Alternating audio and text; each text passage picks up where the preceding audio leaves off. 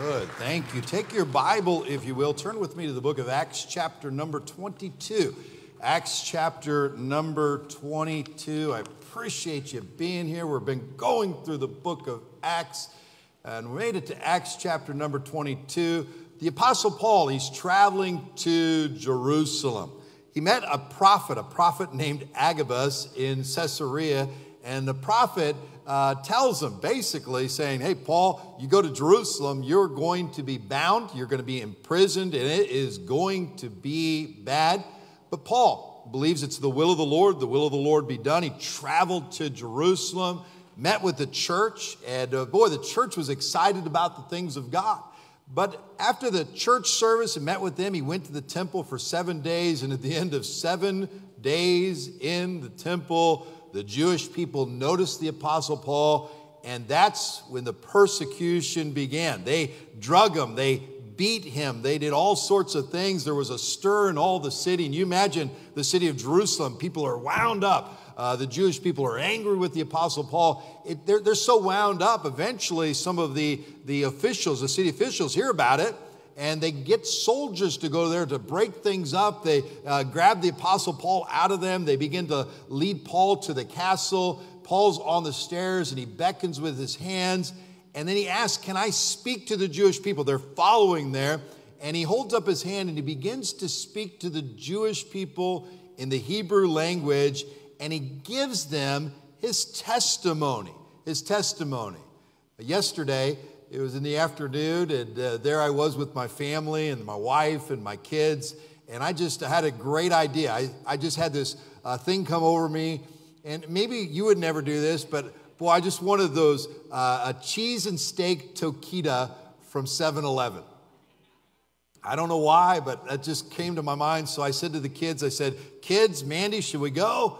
And they came with me. We went over to the 7 Eleven. We got out there, went in there. My wife got a Slurpee. I got two steak and jack taquitos. Uh, my daughter, Anna Joy, she got a cheeseburger dog, whatever that is. And then uh, they made pizza right there. And uh, man, we looked like a big old bunch. And as I'm waiting for my taquitos right there, my kids are chomping away eating. And I asked them, I said, Did you pray? And they said, Oh, yeah, we prayed. I don't know if they did or not, but I said, Let's pray.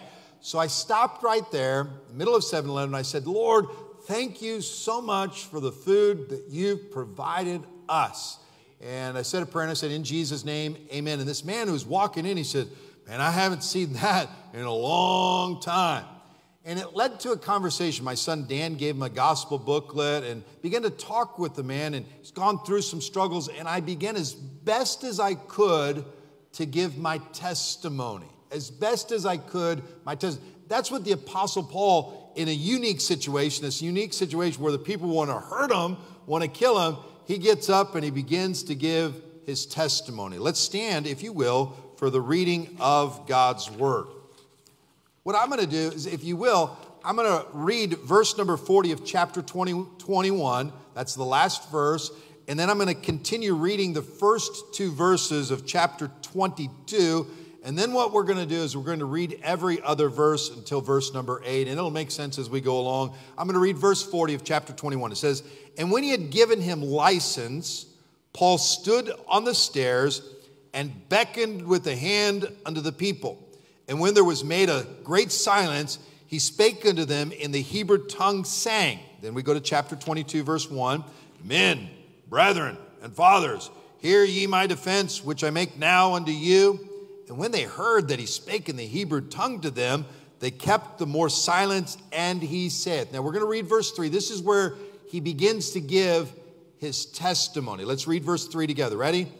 I am verily a man which am a Jew, born in Tarsus, a city in Cilicia, yet brought up in this city at the feet of Gamaliel, and taught according to the perfect manner of the law of the fathers and was zealous toward God as ye all are this day. And I persecuted this way unto the death, binding and delivering into prison both men and women, as also the high priest doth bear me witness, and all the estate of the elders, from whom also I received letters unto the brethren, and went to Damascus to bring them which were there bound unto Jerusalem for to be punished. And it came to pass that as I made my journey and was come nigh unto Damascus about noon, suddenly there shone from heaven a great light round about me. And I fell unto the ground and heard a voice saying unto me, Saul, Saul, why persecutest thou me? Read verse number eight with me. And I answered, Who art thou, Lord? And he said unto me, I am Jesus of Nazareth, whom thou persecutest. What, what a tremendous scripture.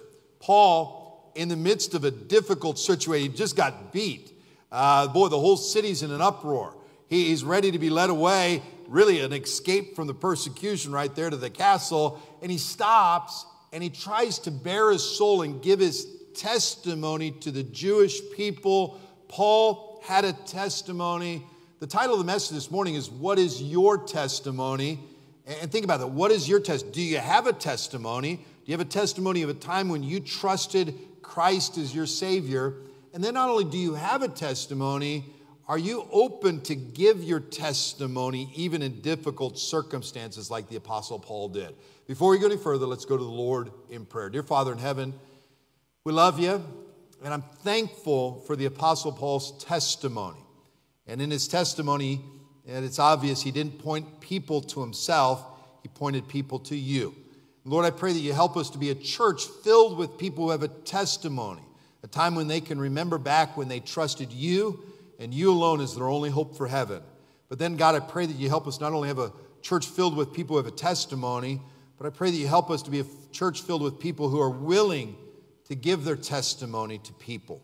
Lord, I pray that you please bless. We need you. We love you in Jesus' name. Amen. You may be seated. What is your testimony? Oh my, there's so much here. And by the way, praise God for the, the Word of God that guides us and directs us. And in reality, this morning, there is a sermon inside of a sermon. And I just want you to see something, and I don't want to go over it, but look with me back at, at chapter 21. I want you to look at chapter 21 and verse number 10, if you will. Chapter 21, verse number 10, chapter before. And it says, And as we tarried there many days, there came down from Judea a certain prophet named. That was very good. We got one. Agabus. And so I don't know how you pronounce that, but if we all say it together, it'll sound good. And so, Agabus, ready? Agabus. And so, Brother Jay's a little bit, uh, you know, he's uh, right there, quick, right there. All together, Agabus. Very, very good. One more time, just to make sure we got it right.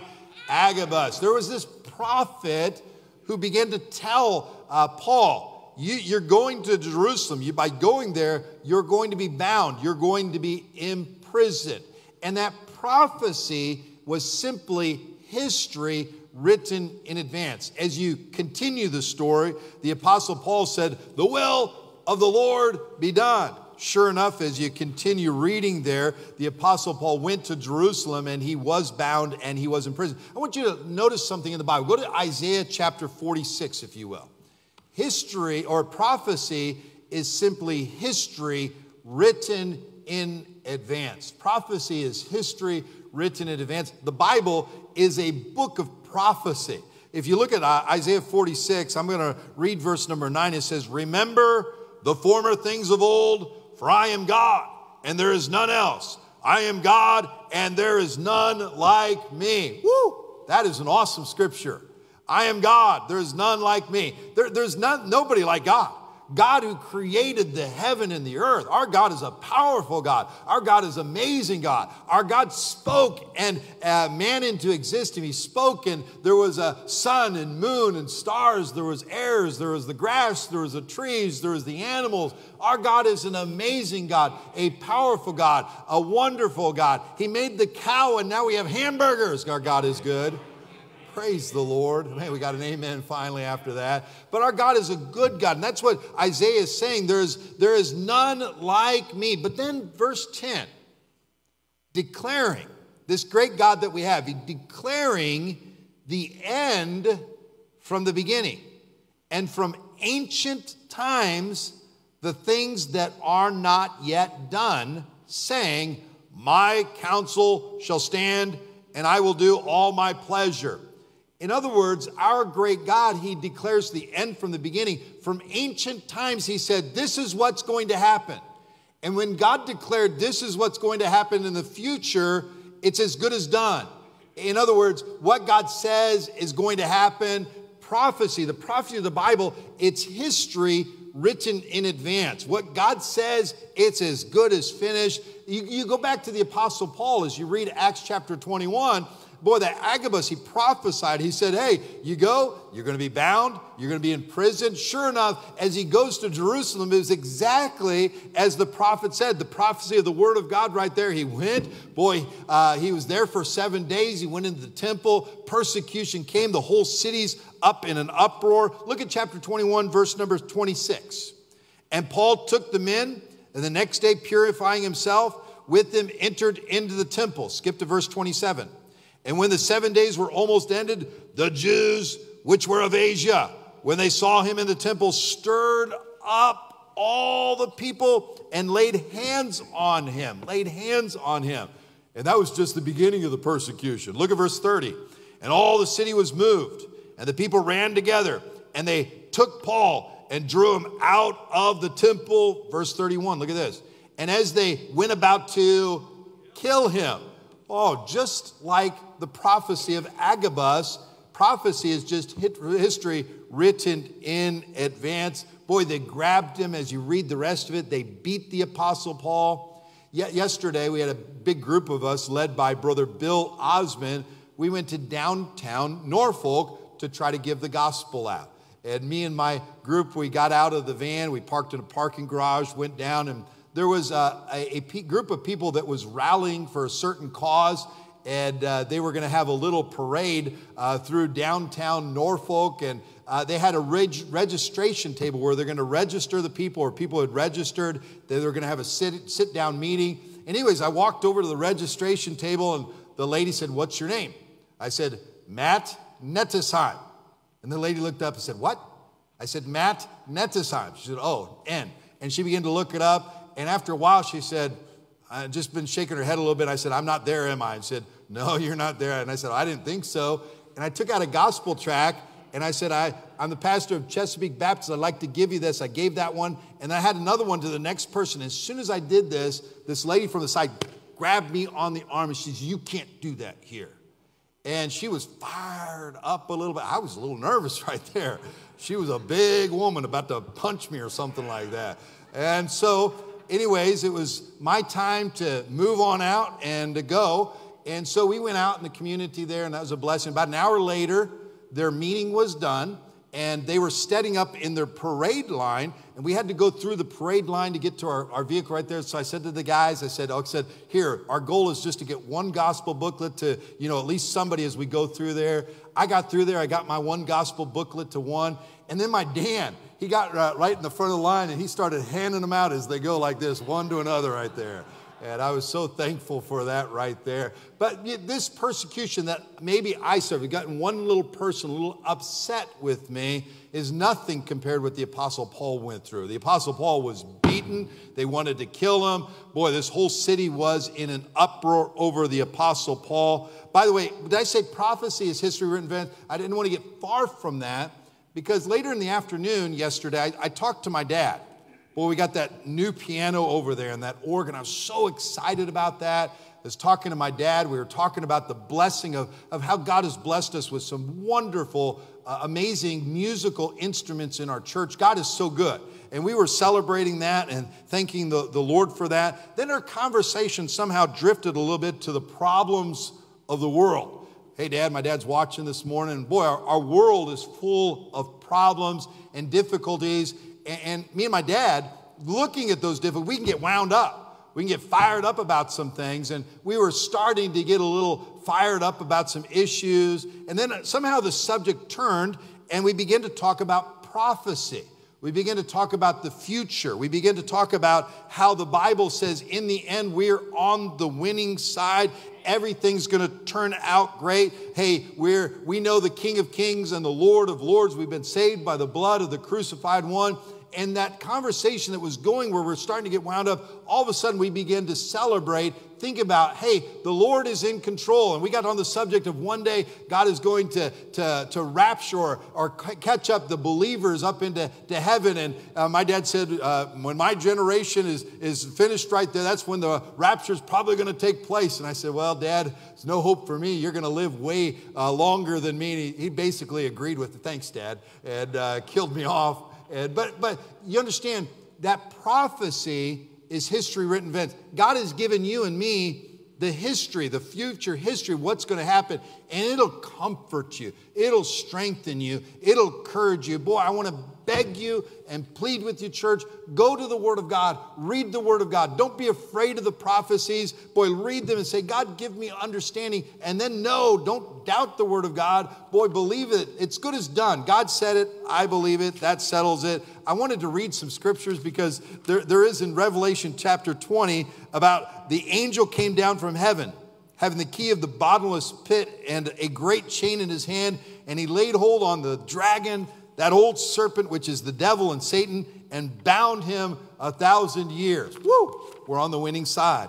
And then in Revelation 21, it talks about a new heaven and a new earth. It talks about the holy city, New Jerusalem, and it describes it as a bride uh, adorned for her husband. And then it says, God shall wipe away all tears from their eyes, and there shall be no more death, neither sorrow nor crying, neither shall there be any more pain.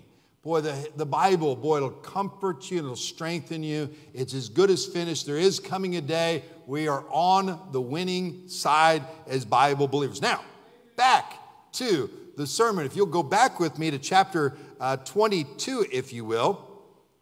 Chapter 22. Yeah, there we go. Chapter 20, the book of Acts. And if you go just before that, chapter 21, look at verse number 39. I'm going to read this to you. But Paul said, I am a man which am a Jew of Tarsus, a city in Cilicia, a citizen of no, no mean city, and I beseech thee, suffer me to speak unto the people. And when he had given him license, Paul stood on the stairs and beckoned with the hand unto the people. And when there was made a great silence, he spake unto them in the Hebrew tongue, saying, and the point, point number one of the sermon is Paul had a testimony. Paul had something to say. And, uh, you know, I don't want to uh, sneak up on you this morning, but I pray that you have a testimony.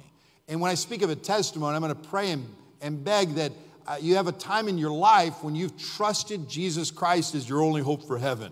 Boy, Paul had a testimony. And then, and not to sneak up on you, but I want to really encourage you, as the Apostle Paul did, he was willing to share his testimony, give his testimony. This was not a group of people that were very kind or very nice. This was a group of people that were hostile towards the Apostle Paul. Paul had a testimony. Now, as we think about that, Paul had a testimony. His testimony did not point people to Paul, Paul had a testimony that pointed people to the Lord Jesus Christ. I want to say that again. Paul had a testimony. He didn't point people to himself, he pointed people to the Lord Jesus Christ. Look at chapter 22, and uh, I'm going to start in verse 1. Men and brethren and fathers, hear ye my defense, which I make now unto you. And when they had heard that he spake in the Hebrew tongue to them, they kept the more silence, and he saith, and then as you continue on there, in chapter, oh, I lost my spot here. I had my notes right there, chapter 22, verse number 3. I am verily a man which am a Jew, born in Tarsus, a city in Cilicia, yet brought up in this city at the feet of Gamaliel, and taught according to the perfect manner of the law of the fathers, and was zealous toward God, as ye all are this day. And I persecuted, look at verse 4, and I persecuted this way unto the death. And as you read that, He's given a testimony that he was a sinner. He's given a testimony that he was imperfect. And as you go through there, Paul's not giving a testimony because he's perfect. Paul's not giving a testimony because he is wonderful, but he's giving a testimony of the saving power of the Lord Jesus Christ. That's vitally important because some of you, when I get to the end, you ought to give your testimony. You'd be like, oh, I don't want to give my testimony. I'm wretched. I don't want to give my testimony. I'm, I'm imperfect. I don't want to give my testimony because I have too many problems. Well, uh, join the crowd. Boy, Paul, Paul had problems. He said in the Bible, oh, wretched man, not that I was, but oh, wretched man that I am. And you know, if you have to wait to give your testimony until you're perfect, you're in trouble because you'll never be perfect, but we do serve one that is perfect, the Lord Jesus Christ. Boy, he gave his testimony. Paul had a testimony that pointed people to Jesus. Paul had a testimony that pointed people to Jesus. We live in a funny world, and uh, there is a thing called commercialized Christianity, and it is abundant in the world today. Commercialized Christianity. We, we have a Bible believing Christianity. That's what we are. We're Bible believers. We don't point people to ourselves, we point people to Jesus Christ. And part of the commercialized Christianity, they, they're having a big new contemporary concert series that's coming to the, the town near you and going across the, the United States. And some of the biggest names ever in pop contemporary Christian music are going to be singing. There was an advertisement for it. And the advertisement, when you read it, and it's amazing. If you pay this much money uh, extra, this is your ticket price. If you pay this extra money, you can sit close and be right next to the singer, and then the name's the name. If you pay a little extra money, you can get up on the catwalk uh, where the singer's going to sing. I, I, wish I was making this up, but I'm not. And if you pay a little extra money, you can get so and so singers, uh, you can get their merchandise. You can buy their merchandise before their merchandise goes on sale. So if you pay extra money, you can get their merchandise before it actually goes on sale. That's a good one and uh, man, they, they, they make some money. And then the, the whole advertisement, it says this popular singer uh, music is sung uh, by 30 million people every Sunday in churches. And, and it really breaks your heart because the commercialized uh, Christianity, the commercialized uh, music industry, Christian music industry, eventually it points people not to Jesus Christ, but it points them to themselves.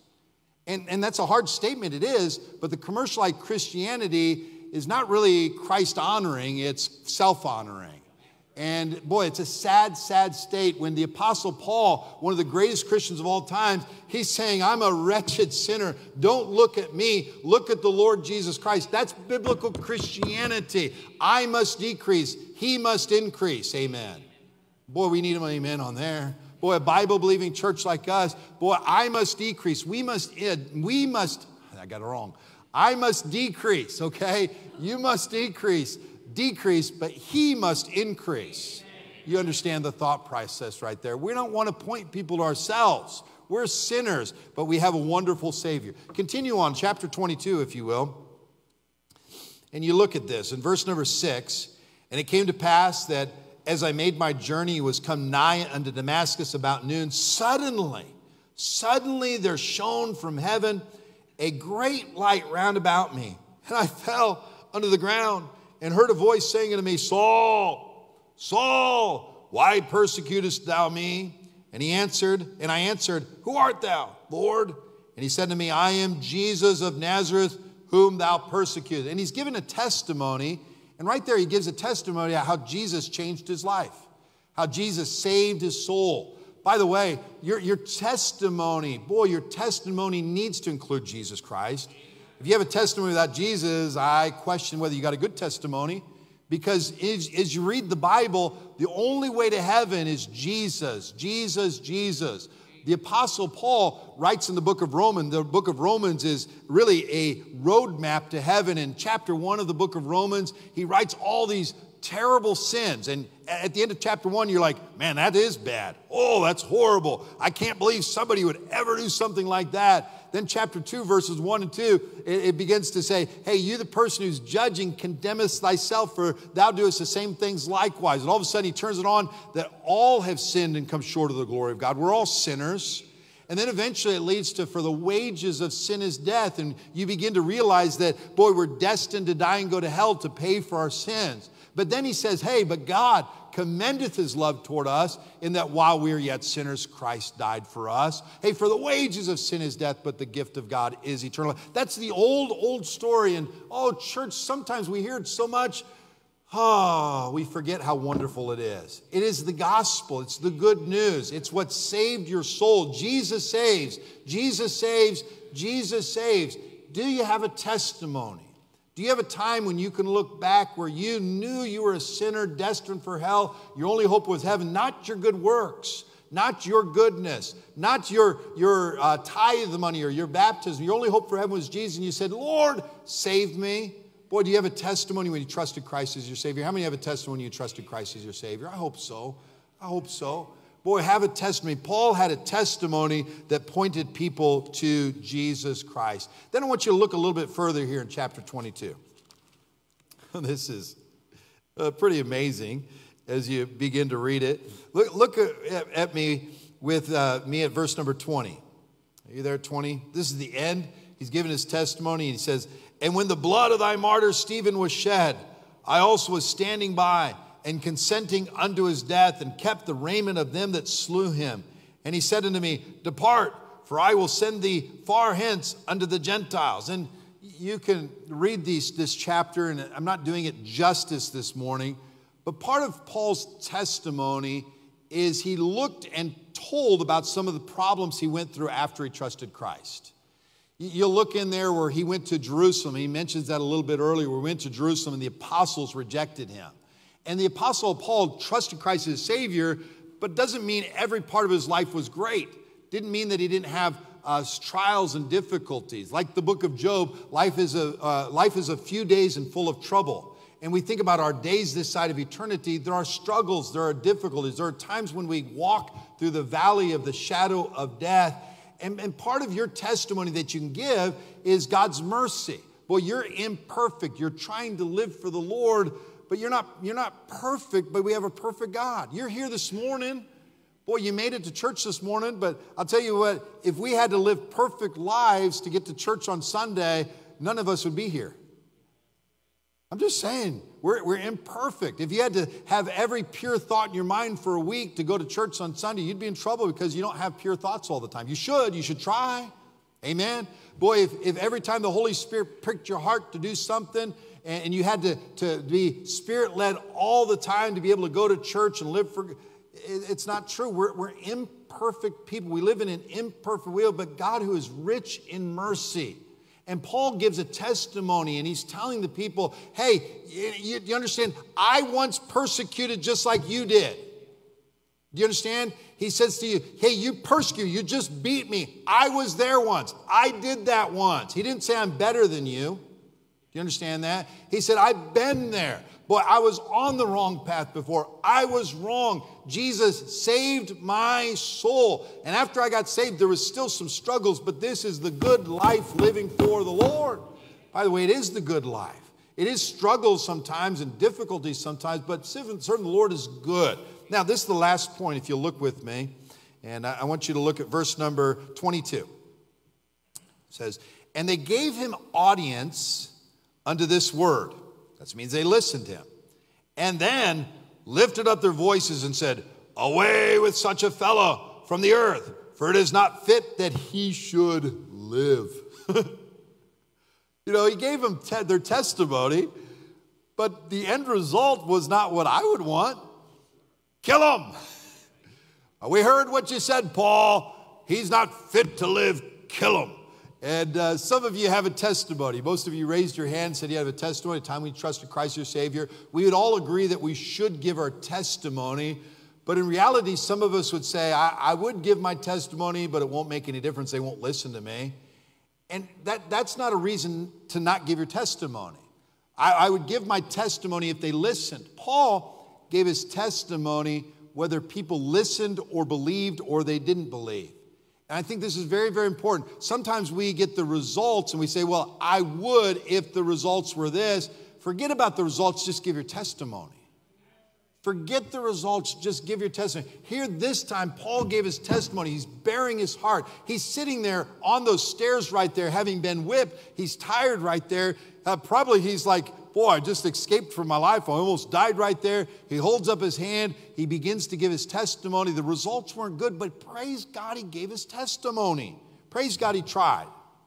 Yesterday, as we were out and about, we went to downtown Norfolk, and there's a train station. We've been there several times before, and uh, went to the right up the train. There's these benches, and my, it's probably been a year and a half since I've been out there. It's changed a little bit there was a lot more homelessness than I've seen the last time I was there. And uh, as we were going uh, across, across the street right there, I was inviting somebody to church, and uh, all of a sudden, this man who was obviously a homeless man, he was the jolliest homeless man ever. He said, Hey, I want one of those. And he was on a bench. And so I said, I'm coming, I'm coming. And the man's name was Kirby. And I got to talk to Kirby. He's a very interesting man. I sat down there on the bench with him. He's smiling from ear to ear. He's 63 years of age. And I said, Kirby, you know, how do you make money? He said, Oh, I got Social Security. And uh, he's happy. He says, Yeah, I'm getting a raise in January, $94. and, and I said, Well, what bills do you got? He said, Only bill I got is my cell phone. and he's like, He's happy. And uh, he's joyous. He's a funny guy. And uh, I began to talk to him about a lot of different issues and everything. I said, Well, what about, you know, sleeping out in the cold? Don't you ever get cold? And he laughed. He said, No, I never get cold. and uh, we talked about a lot of different issues, but eventually the conversation led, and I said, Kirby, let me tell you what happened to me. And I began to give my testimony about how somebody invited me to church, and I went to the church service for the wrong reasons. And eventually somebody asked me that question if you were to die today, are you 100% sure you'd go to heaven? And it, it was amazing because he meant to ask questions. He said, I'd like to know for sure if I'd go to heaven. And I began to give him the gospel, how we're all sinners, how, boy, the price for our sin is hell. Jesus paid that price. At the very end of the long conversation, I said to Kirby, I said, Kirby, if God's offering you that gift of eternal life, would you accept that? He said, absolutely.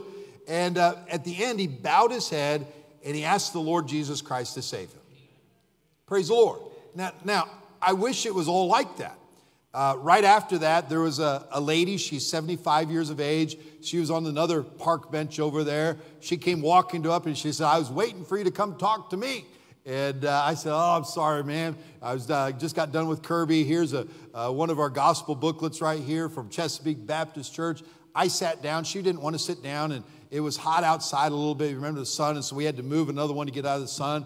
And I began to talk to her. 75, 75 on the streets, a nice, sweet lady. Boy, her life forever changed at like 68 years of age. Some things went wrong with her family. She didn't want to be on the streets. She didn't want to be in the situation that she said, but her, her life is just that way. And I said, What's your dream? And uh, she said, Well, my dream is just one day to have a little house uh, and a little bed and uh, to be able to sit there and be able to just read some books in my peace and quiet of my house. That was her, that's her dream. And uh, as I began to talk to her about different things, she talked about a church she grew up going to. And then I began to give her my testimony, very similar to Mr. Kirby. And I said, Mrs. Elizabeth, let me tell you about the time that I went to church and somebody asked me the question if you were to die today, are you 100% sure you'd go to heaven? A long story short, she wasn't. She listened to the whole gospel presentation. We're all sinners. And I asked her at the end, I said, Miss Elizabeth, do you understand you've sinned? Oh, I, I understand I've sinned. Do you understand the price for your sin would be hell? I, I believe that. I said, Do you believe Jesus died on the cross for your sin? She said, I believe he did, and I believe he's God. I said, Well, do you understand it's Jesus and Jesus alone without your goodness that'll get you to heaven? She said, I just don't believe that. I just believe that, uh, that I've been taught that I have to go to confession, and confession is my entrance into heaven. And you know, a sweet lady, nice lady, my testimony that I gave the results don't matter. I wish she would get saved. You understand? I wish that everybody you talk to who's never trust Christ would trust Christ as their Savior. But, but it's my job to give my testimony. And again, God works out the rest of the details. Your testimony, you have a testimony. You have, uh, and your testimony is not about how great you are, because you're not, except my wife. She's wonderful. Uh, but we're, we're not great, but we, have, we all have a great God who we're testifying about who saved our soul. And so when you give your testimony, you have a testimony, boy, as God opens a door, and I pray opens a door this week for you to give your testimony as best you can about what God has done for you. What has He done for you? Saved you from hell? By, by dying on the cross for your sins, gave you the gift of eternal life, not because of your goodness, but because of his mercy. Boy, he saved you, he saved you, he saved you. Boy, do you have a testimony? But I want to encourage you to give your testimony. Paul had a testimony. Let's pray. Dear Father in heaven, we love you. Just thinking about how you use the Apostle Paul, and it's easy to point uh, out what a great man and a great Christian he was, and he is a good man, but he's a sinner just like we all are. And I pray that you help us as a church full of imperfect people always remember how we were saved. And the only way we're saved is through your precious blood. Then, Lord, I pray that you help us to, this morning to look at the Apostle Paul's example of giving his testimony. I pray that you help us to have the courage to give our testimony, a testimony of when we trusted you as our Savior. And I pray that because of that, there's going to be times when people do believe, but in reality, there's going to be times when people don't. But God, I pray that you help us to not worry about that, but help us to give our testimony. Lord, we pray right now if there's a soul here that's never been saved, they don't have a testimony, that they realize their only hope for heaven is you. Please bless this invitation in Jesus' name. Amen.